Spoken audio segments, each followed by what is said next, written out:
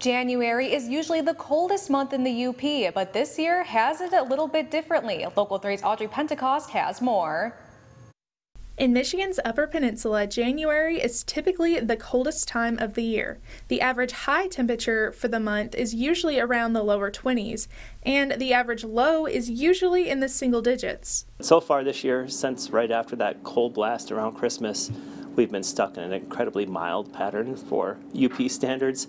Uh, temperatures so far for the month of January have averaged around 10 degrees above normal.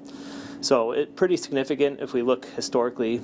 I mean, we're on pace right now to have one of our warmest Januaries on record. With temperatures being above average, we've seen a lot less snow and a lot more puddles and ice on the roads. So why are we seeing these unseasonable temperatures? Ever since the really the big cold blast that affected the entire United States around Christmas time, um, we've been stuck in a pattern with a very strong west to east jet stream.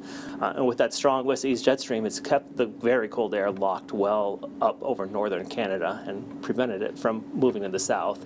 And thus, we've just been in this Pacific type air with uh, no really cold anomalies or, or cold blasts of air that have come down across the Great Lakes over the last couple of weeks.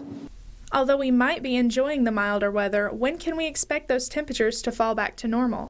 Looking out at the weather pattern now um, as we move through um, this upcoming weekend and the next week, there are signs that um, the pattern will become a little bit more favorable for colder air to start to sink southward from Canada. And uh, I think as we head through the last week of January through the beginning of February, uh, signs point to a much more normal stretch of temperature weather. Uh, in addition, there are some signs too the weather pattern may become a little bit more active during that stretch, so at least bring the opportunity for uh, some more systems to bring snowfall or widespread snow to parts of the uh, upper Great Lakes.